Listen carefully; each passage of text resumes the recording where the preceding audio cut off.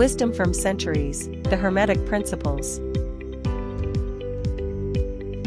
The Hermetic Principles, mysterious and profound, reveal their truth when one delves into their depth.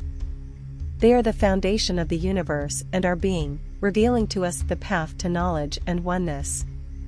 The principle of mentalism, the first and highest of all, teaches us that everything arises from mind, the origin of all being. Through thinking and knowing, we can create ourselves and shape our world according to our wishes and dreams.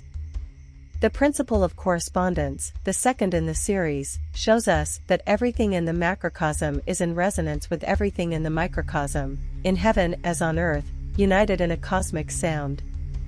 We are part of the whole, and the whole is contained within us.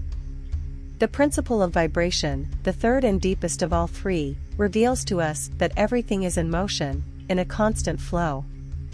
Everything vibrates, pulsates, and oscillates in an infinite rhythm.